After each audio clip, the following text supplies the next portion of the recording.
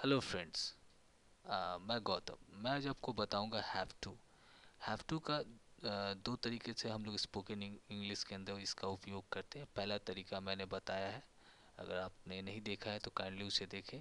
आज हम लोग दूसरा तरीका सीखेंगे। हैव टू का दूसरा दूसरे तरीके से इस्तेमाल कैसे करना है। पहला तरीका होता है जो काम करना है उसके लिए हम लोग हैव टू का इस्तेमाल करते हैं।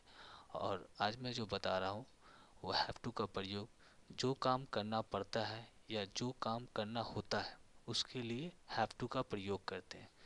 हैव टू का प्रयोग कब करेंगे हम लोग? जो काम करना पड़ता है या जो काम करना होता है, उसके लिए हम लोग हैव टू का प्रयोग करते हैं।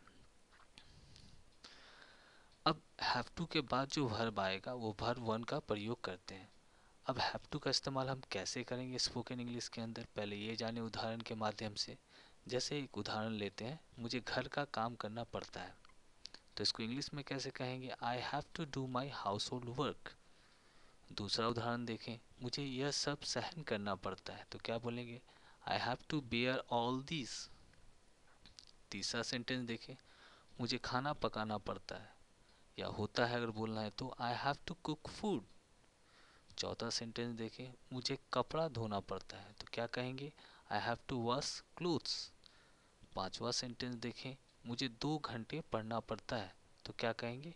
I have to study two hours तो हैव टू का प्रयोग कब करेंगे? ये मैं आपको बता रहा हूँ। हैव टू का प्रयोग स्पोकन इंग्लिश के अंदर बहुत होता है।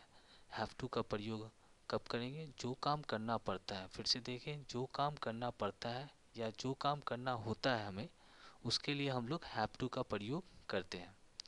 और हैव टू के बाद जो वर्ब आएगा, वो वर्ब वन आएगा। रूट भर का इस्तेमाल करते हैं। अब उदाहरण उदाहरण ले लें। जैसे अगर मुझे बोलना है, मुझे घर का काम करना पड़ता है तो क्या कहेंगे?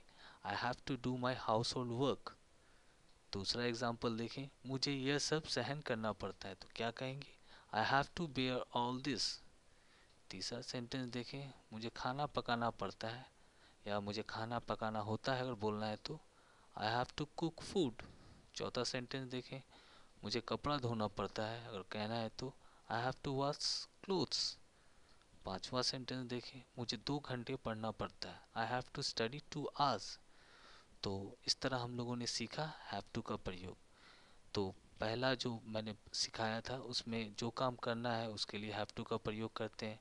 और आज मैं आपको बता रहा हूँ, जो काम करना पड़ता है या जो काम करना होता है, उसके लिए भी हम लोग हैव टू का उपयोग करते हैं। आई होप आपको समझ में आया होगा। Thank you for watching.